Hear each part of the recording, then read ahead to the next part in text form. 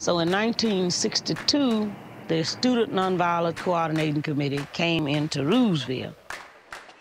That Monday night, I went over here, right around the corner here, to this church, William Chapel. And the pastor announced at the end of service that there would be a mass meeting that night, that Monday night.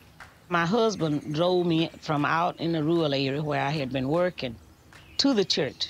And when we got there, Bob Moses, Lawrence Guyot, Reggie Robinson, James Bevel, Jim Forman from SNCC got up and explained how it was our constitutional right to register and vote and how it could change, you know, the different laws. Like if we didn't want a law in the town or what was going on, we could vote them out.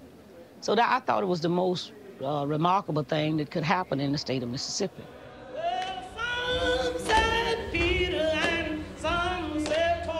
I'd never heard until 1962 that uh, black people could register and vote. I'd never even heard that that was in the Constitution.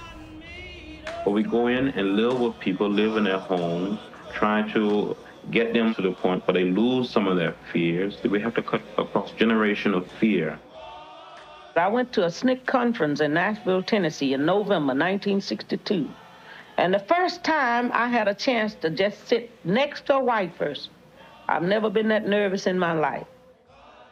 SNCC is the type of people, they call them far left, radicals, beatniks, and all of this kind of thing.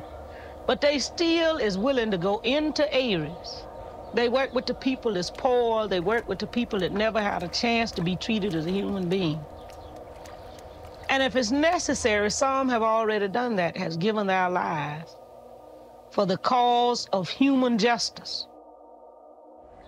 We would go to places to go in to do voter registration and we talk to people and we would tell them we was coming back the next day and by the next day somebody would be done got to them and they would want to talk with us. We would be harassed and we know cars would be passing the house loaded with white men and trucks would be passing there with guns hanging up in the back. Well, it was it was rough. Year after year, things looked like got worse and worse. The Student Nonviolent Coordinating Committee helped to build confidence in people that they was just about to lose all hope, and that's the truth.